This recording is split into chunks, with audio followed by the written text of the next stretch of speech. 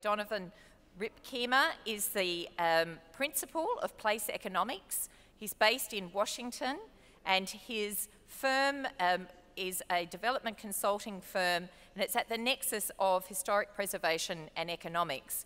In the US, Donovan has worked with such groups as the Urban Land Institute and the Mayor's Institute on City Design and the American Planning Association. International clients have included the World Bank, the European Development Bank, and the United Nations Development Programme.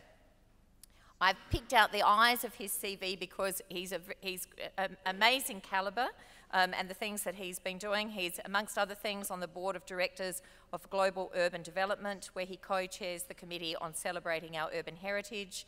He's also a senior advisory board member of the Global Heritage Fund. He's authored numerous publications, including a book entitled The Economics of Historic Preservation, A Community Leader's Guide. In 2012, he received the Louise DuPont Crowninshield Award, and I'm not sure whether I've said that correctly, but it is America's highest um, award honouring um, preservation, um, contribution towards um, historic preservation, and he was awarded a lifetime contribution um, for his, his input in historic preservation in the United States. So, Donovan, I hope that you can hear me, and there you are. Uh, for a long time, uh, internationally, there was a little uh, suspicion about talking about economics and heritage conservation in the same sentence. It was kind of deemed déclassé, that it wasn't appropriate. Uh, but that really changed in the last a few years.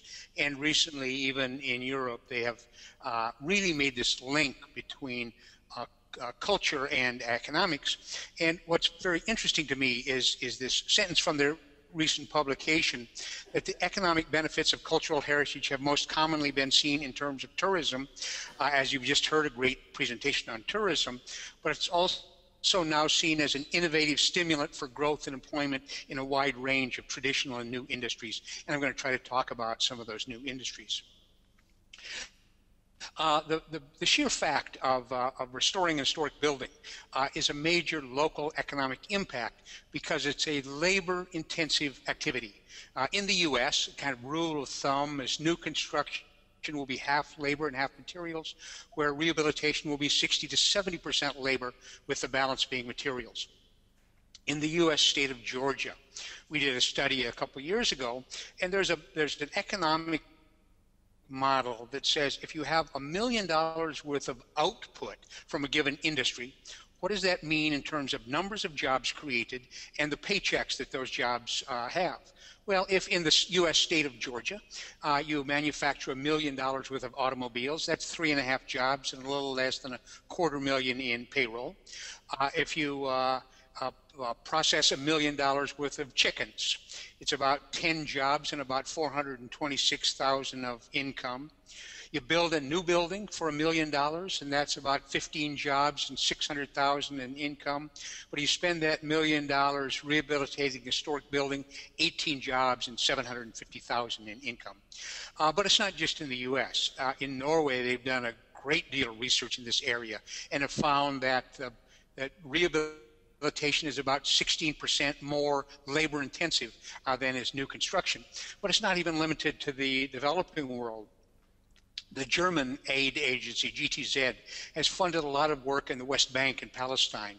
And one of the great local NGOs there is the Riwaq Center.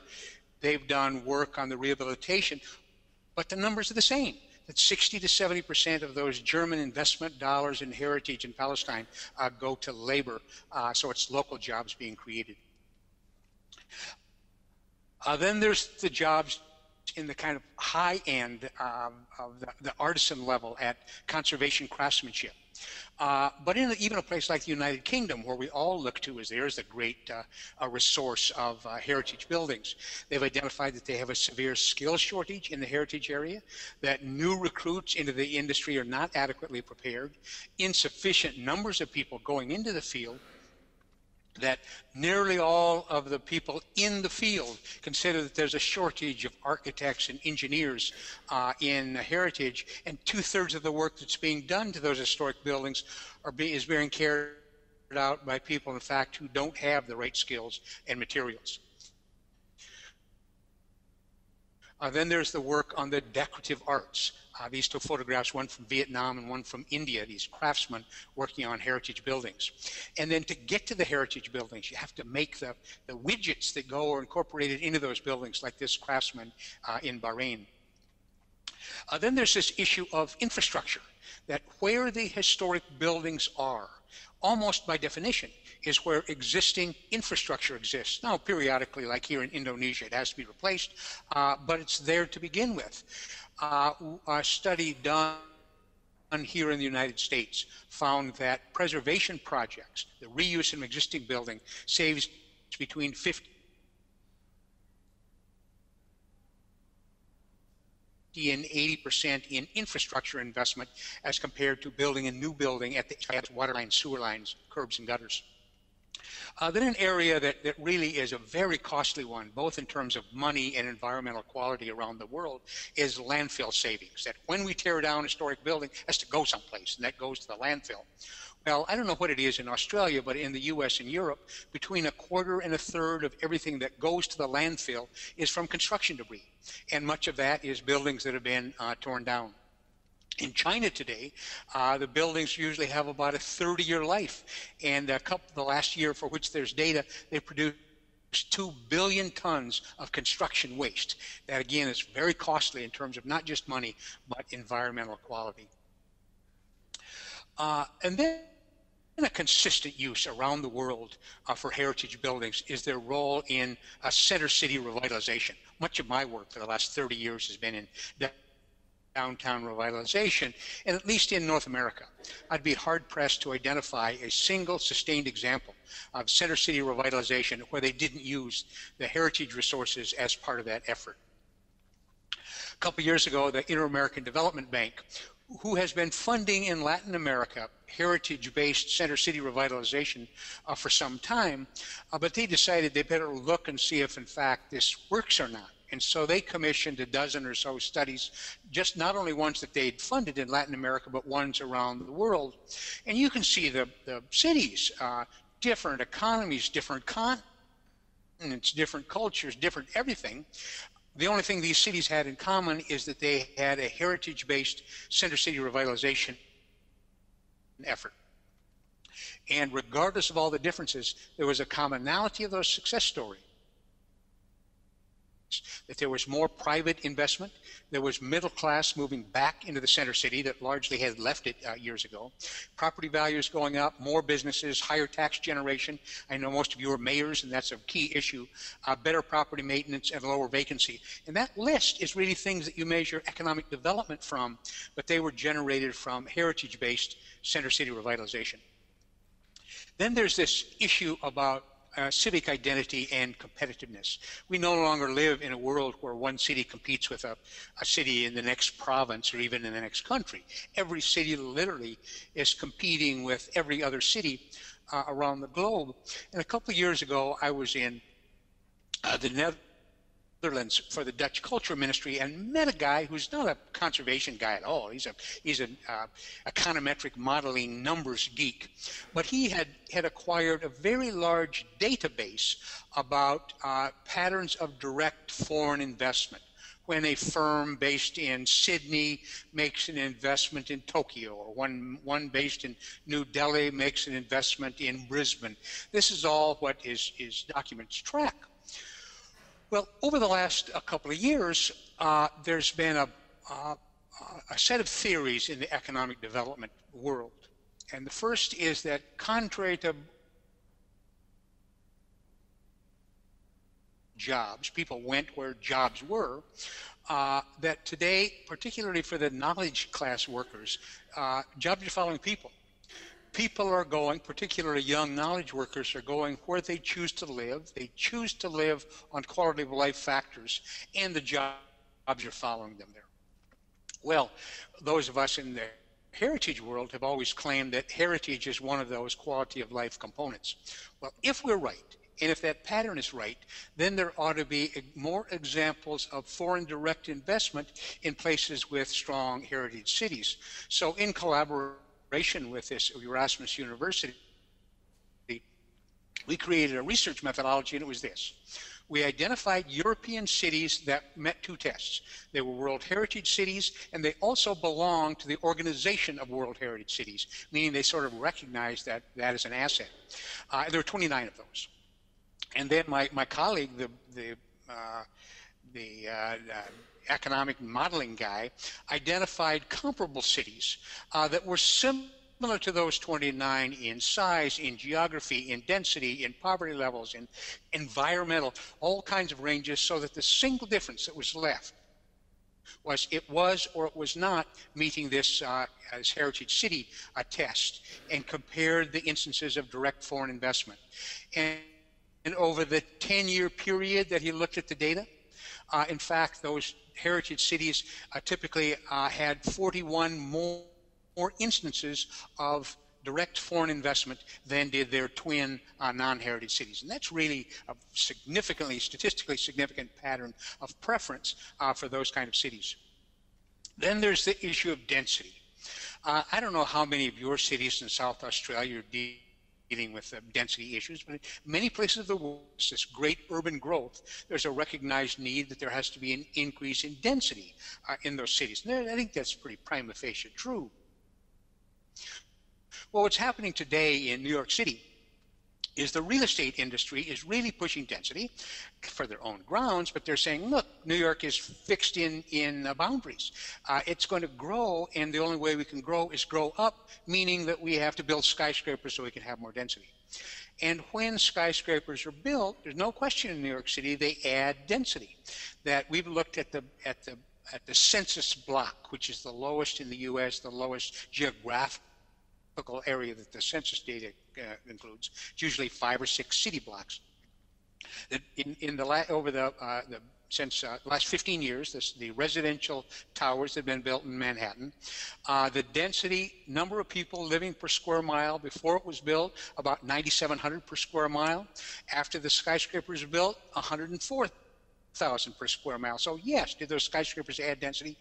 Yes, they added a lot of density. However, or is already the densest part in the city. In New York City, a very dense place. In fact, it's not where the skyscrapers are. It's the historic districts in the uh, city of New York. In the case of Manhattan, the density in the historic districts is 145,000 people per square mile. The densest place are those those uh, uh, pedestrian-friendly uh, appropriate scale historic districts, not the high rises. In fact, in all all five of the boroughs in the city of New York, the same pattern holds true. The densest place is, in fact, the historic districts in those five boroughs. Uh, then this issue about competitiveness and, and differentiation here in uh, Moscow and in Athens and in uh, Agra and in uh, in uh, Bahia, uh, Salvador Bahia, Brazil, in Hanoi. Each each of them are in fact being competitive by using their uh, historic resources. This great vertical, Exit Trade Center. Uh, and then this issue about historic buildings as venues for the fine arts. Now, would the collection of the Louvre be the same if we're in some concrete block building? Well, maybe the collection would be the same, but would be the experience be the same? Absolutely not. Uh, the venue for the performing arts, like this opera house that the fifth graders are visiting uh, in Vienna, or this arts district that's using historic buildings as a place to sell arts and crafts uh, in Quito in Ecuador. Or here is uh, Madrid, where the context of those historic buildings make the place the appropriate venue for those street performers. There's a real pattern of historic cities attracting the creative classes. This painter is in the U.S. historic city of New Orleans. Uh, a city in the U.S., Raleigh, North Carolina, and Raleigh, like Adelaide, is the is the state, the provincial capital, and their state economic development strategy said we have to add workers, increase our share of the workforce that's in the kind of the creative classes in arts, entertainment, and recreation. Now, any place, this is never going to be a huge chunk of the labor force, but it's a it's a portion that can have a big catalytic effect on other activities. Well, in the state of North Carolina, a little less than 2% of the uh, workforce is in the uh, arts and entertainment. In the city of Raleigh, that's the capital city, and in the center of a, both the research triangle and a number of universities, a little over 2%. We have a strange system in the, in the US. We have things that are called national register districts, and they're kind of an honorary designation, but there's no protections whatsoever that comes from a National Register district. The protections, and that means the constraints, the regulations, the limitations, come where there are, is a local historic district. So the National Register districts in Raleigh have more of those workers in arts and entertainment than does the city as a whole, but where they're mostly concentrated, in fact, is in these local historic districts. This is the city of San Antonio in Texas, sixth largest city in the United States, home of the Alamo.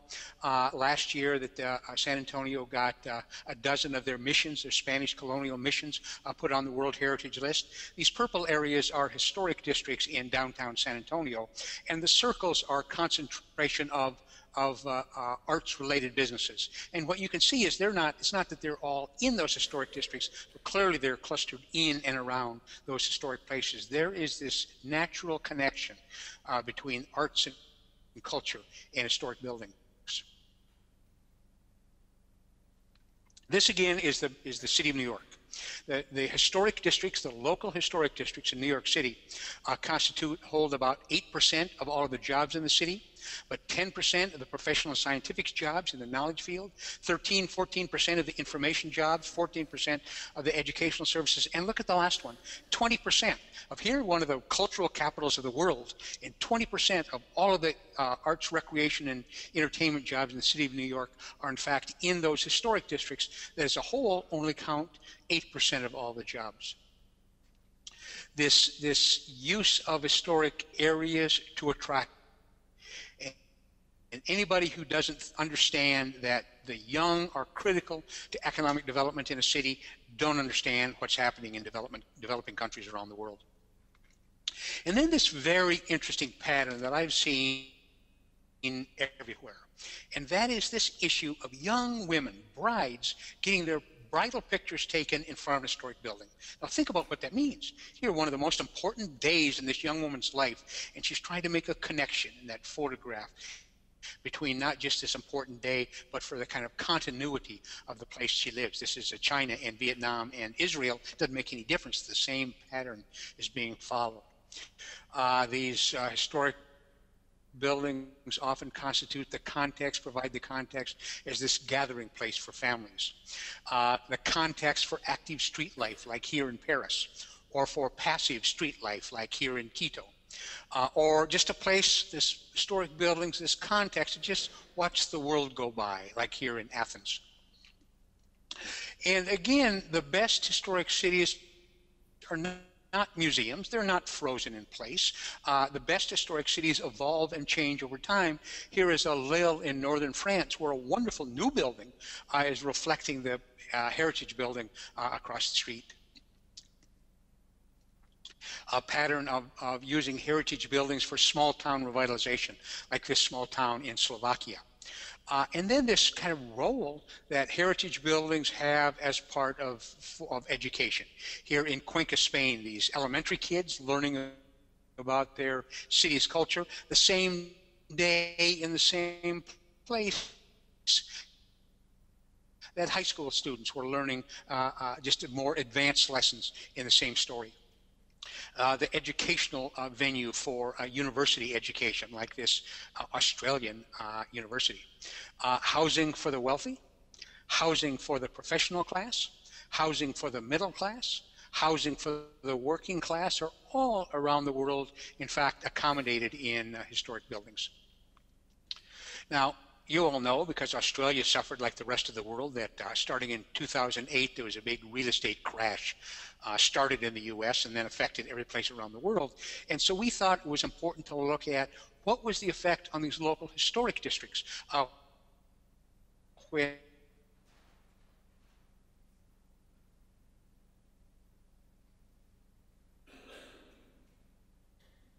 and there was this real estate crash. And we've now lowered rate in half of what it was in the rest of the city.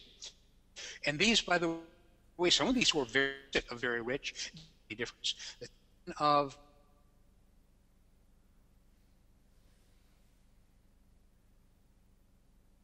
a, much lower foreclosure rate was there's this latent market,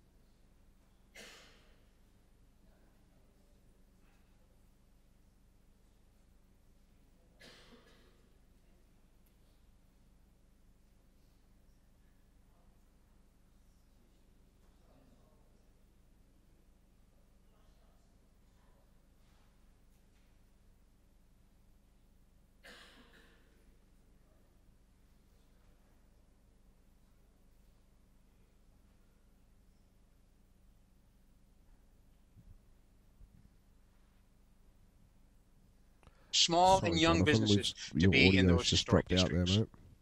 This Um, again are is uh, San Antonio, where there's this concentration um, of small firms resolution uh, at all? in and around the uh, historic districts.